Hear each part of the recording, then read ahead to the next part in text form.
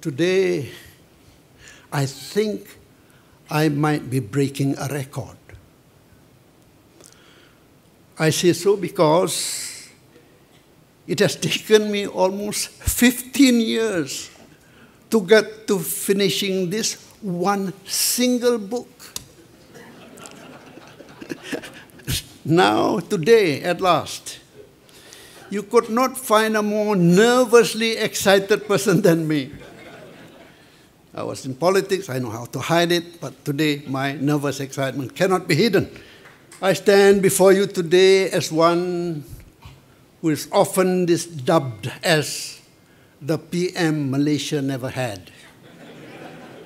Success in politics demands an ability to connect and communicate with people.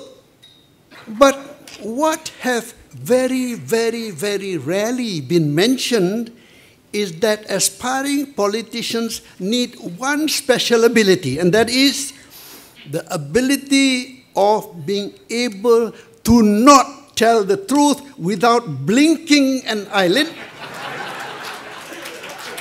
and and doing with it with a straight face.